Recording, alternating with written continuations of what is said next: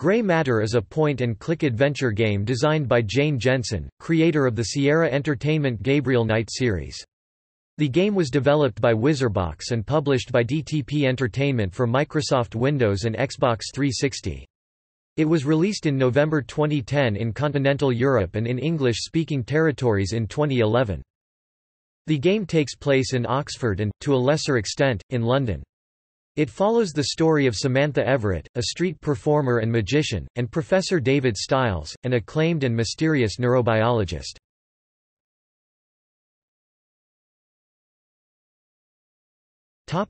Gameplay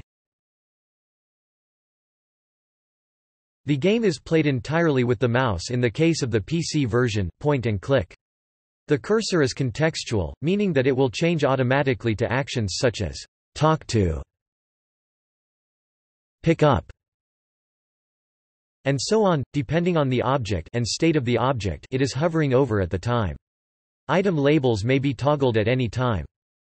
The game is divided into eight chapters whereas the first and third Gabriel Knight games the second game, The Beast Within, has a structure similar to Gray Matter were divided into days.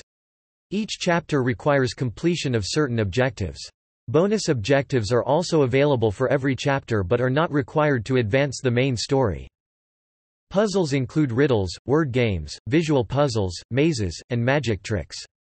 As an aspiring magician, Sam often adapts tricks out of her magician's handbook to the situation at hand.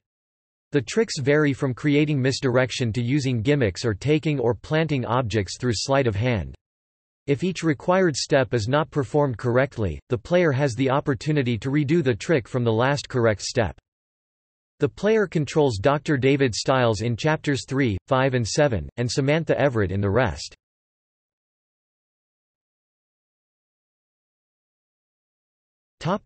Plot The opening scene of the game depicts Sam riding her motorcycle in the rain in the countryside while travelling to London, and accidentally being redirected to Oxford because of a broken street sign. Her bike breaks down, forcing her to take shelter in Dread Hill, a nearby mansion where David resides. She poses as an Oxford student responding to Stiles' request for a research assistant. Eventually, Sam is ordered to recruit six students as test subjects for David's research. Through clever manipulation and magic tricks, Sam manages to find four students willing to volunteer for the experiment. The professor recalls her to Dread Hill, letting her know that he found a fifth candidate and making Sam herself the sixth. As the game progresses, Sam learns about the professor's past, his research on the paranormal, the prestigious members-only Daedalus Magic Club, a series of bizarre events that take place at Oxford University, and how these elements are connected.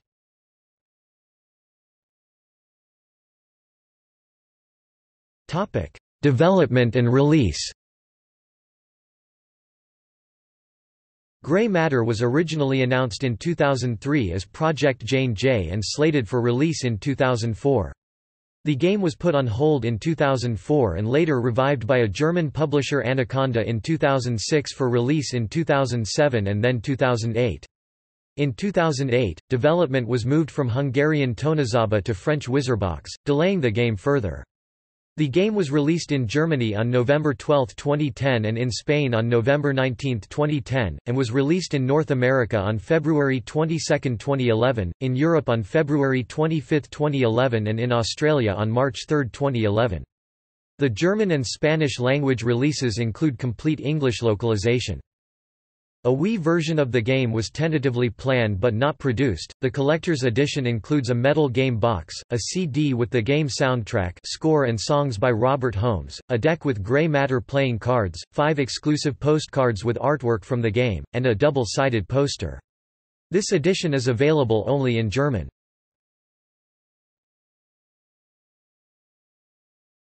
Topic: Reception Reception by the gaming press to the English-language release has been mixed. PC version received an aggregated score of 72 on Metacritic and 75% on GameRankings. Xbox 360 version received an aggregated score of 66% on GameRankings.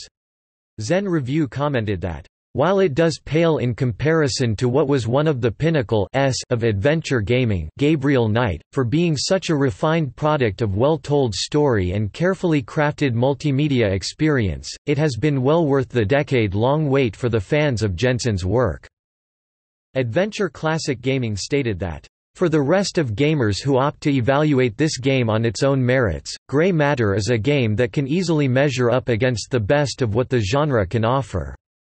Gray matter succeeds not because of its pedigree but because of what it can deliver. Most of the criticisms of the game are directed at the quality of the cutscenes, which are considered out of keeping with the quality of the rendered graphics. Official Xbox Magazine UK gave the game an unfavourable review, criticising the clunky interference and patronising depiction of England. The AV Club gave it an A rating, praising the puzzles and writing and calling it the best traditional adventure game in a decade.